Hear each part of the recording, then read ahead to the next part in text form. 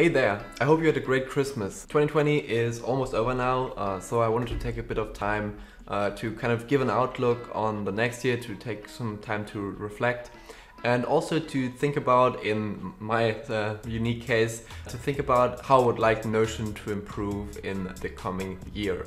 Um, I really, really love uh, Notion as a tool. I use it every day for pretty much any purpose, any organizational or productivity use and um, I love it. But um, there's still some things that are missing and that would make a significant uh, difference in using the software.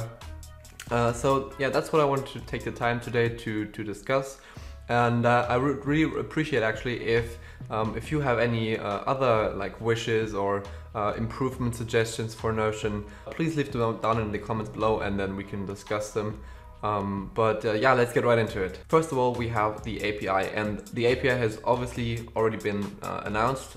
I have already signed up for the uh, beta uh, waitlist, but I really am hoping that it's going to be a good uh, API because uh, that's what is going to make the difference here. Um, I hope that there will be lots and lots of integrations in 2021 already and um, that it will be really stable and nice to use um, because then I think lots and lots more people will actually be interested in using Notion as their like all-in-one solution. For me, there are actually three different tools that I would really love to see uh, Notion be integrated with.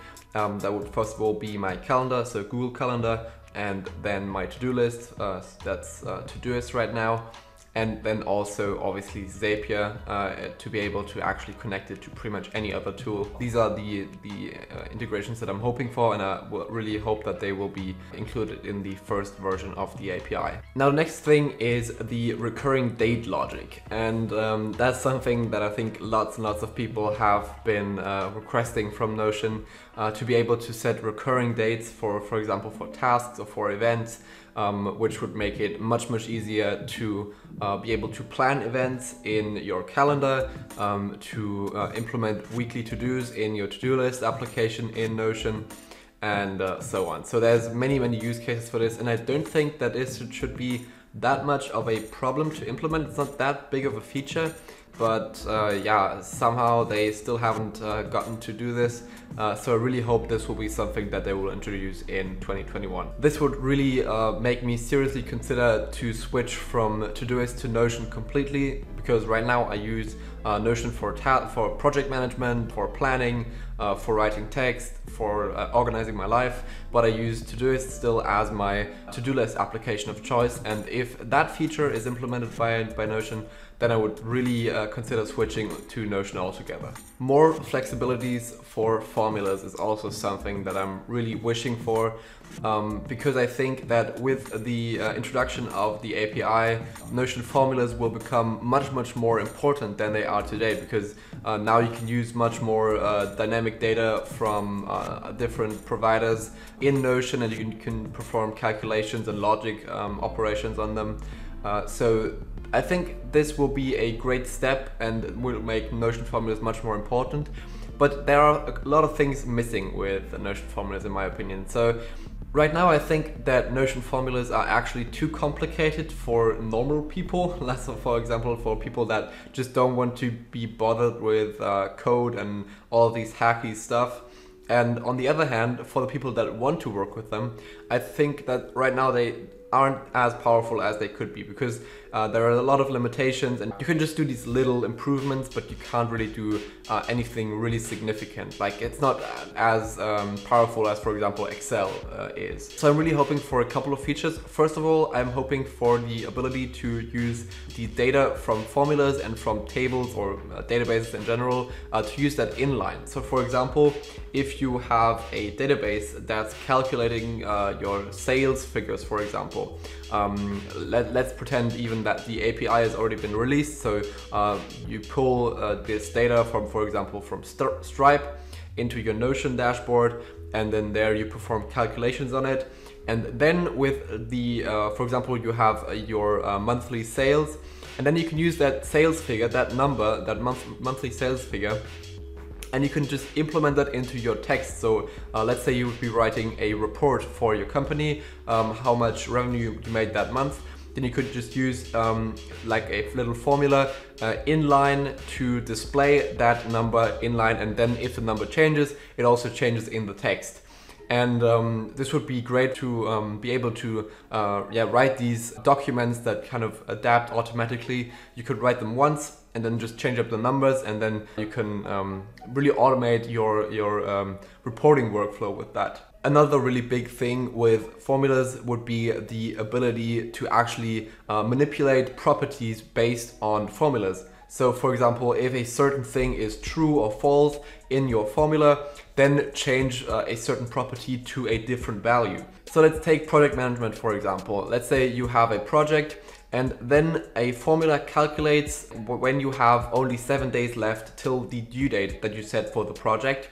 And then um, let's pretend that this would then enable the formula to change up the uh, priority level or the status of your project to make it a higher priority because um, you only have a certain amount of time left. The same would also be great for reminders. So if you could set a formula that calculates certain stages in your project, for example, uh, let's uh, take the same example again. Uh, let's say the formula calculates whenever you have less than seven days left for the project to finish. And then the formula could be able to uh, set off a reminder like at seven days, uh, at a seven days mark, um, so that you know that this is a project that you have to put work in now uh, because it's about to be uh, finished and the deadline is about to happen. Next, let's talk about the databases themselves. One thing that has bothered me a bit in Notion is that you can't really set access levels for databases. Uh, so you can't have a database uh, that has a lot of data in it and you can't have two people who have different rights and can only see a certain part of the database. Um, so for example, let's pretend you are you have a, a, social media marketing agency and you plan out your content for all of your clients in Notion. And you could have, if that was possible, you could have a big calendar, a social media posting calendar, which has all of the posts of all of your different clients in it and then the clients could only be able to access their own uh, content and they wouldn't be able to see all the content from all the other clients. Um, because that would just be a huge mess. But right now that's not possible. You can can't really um, kind of restrict the, uh, the things that people see in a database and um, yeah that's that's a bummer because I think that will be useful for many many people in many different cases as well. Something that's uh, particularly interesting to me but um, yeah I, I, don't know maybe you guys tell me in the comments um, if that would be interesting to you as well. Um, I'd really love to have a um, kind of location property, location property and also um, coherent with that a maps view. So the idea is that I would be able to add a location to a database entry as a property and then I would have a maps view that would actually display all of these different entries based on the location that I set them. So pretty much like Google Maps, um, but in Notion. And what I would use this for is my uh, restaurants and cafes uh, database. So if I would be able to actually map these out on, a, on, a, an actual map, but uh, yeah, obviously uh, post COVID-19, but uh, whenever that's that's over, um, if I'm in a city and I have, uh, can, I can just pull up my maps view uh, in Notion with all of my database entries of cafes and restaurants in the area, um, that would be a huge improvement and uh, that would be really great for me at least. And um, yeah, I'd really love to know if, if you would be interested in something like this as well. And lastly, something that um, is important to me, but that um, yeah, probably many uh, native speaking English people uh, don't even uh, realize often.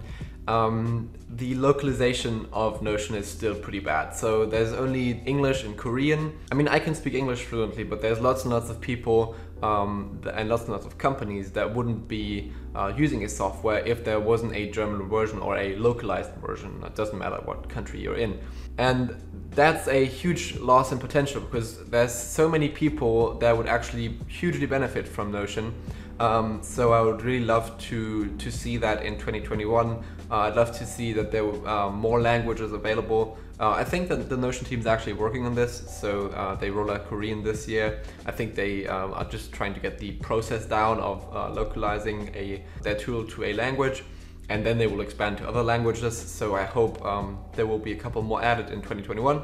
Yeah, that was pretty much it. Uh, please let me know in the comments if there's anything that you would like Notion to improve on. What kind of features and database views and um, yeah, other things would you like to see implemented in Notion in 2021? I mean, I can't influence it, but um, it would be just nice to kind of discuss on uh, discuss about that and um, see what uh, all of the ideas are because I think that I uh, definitely missed, or I'm, I'm, sure that I missed something important. Um, so yeah, let me know. Um, if you liked the video, leave a like and uh, subscribe to the channel. Uh, and I'll see you in the next one. Bye.